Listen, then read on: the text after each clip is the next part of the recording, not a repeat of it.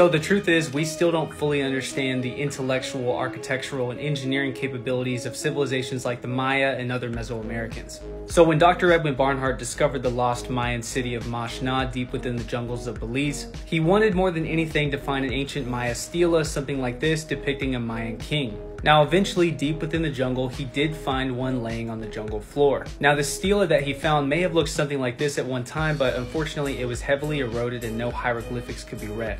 But the idea dawned on him that he could simply flip the stela over and perhaps the underside had preserved some hieroglyphs for him.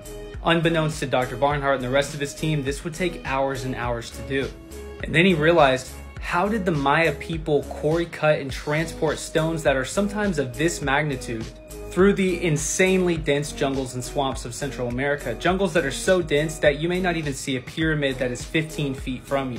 Clearly, there's so much more to the ancient history and lost technology of Mesoamerica